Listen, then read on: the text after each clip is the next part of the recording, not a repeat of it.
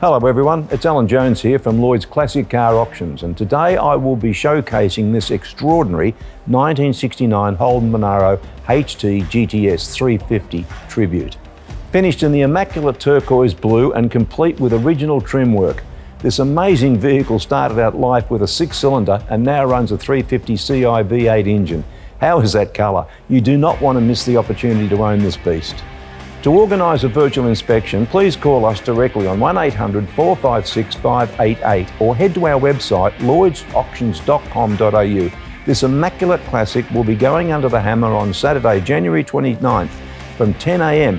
Happy bidding, good luck, don't miss out.